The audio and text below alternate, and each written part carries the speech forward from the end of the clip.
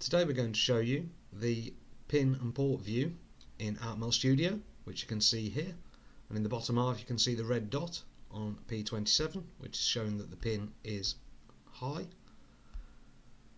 Please do like and subscribe and check out our other videos if you like this one.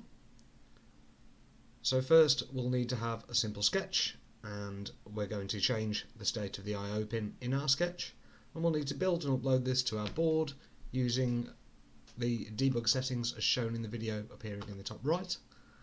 And then if we attach to our target, we can now add some breakpoints and we can see that in our I.O. window that we've got our pin state showing up here as P27 and that's the built-in LED on the Arduino Due in this case.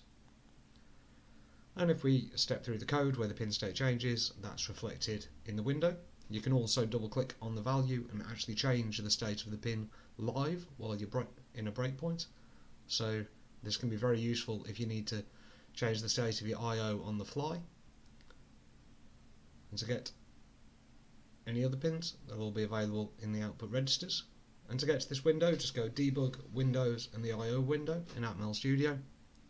And you'll have all of these options for all of the hardware level items. Now you may be looking for a port A, B or C on your board, it depends how the I.O. works, but because we're on the Due we have the parallel input-output controller registers. And there we go. So it's as simple as that.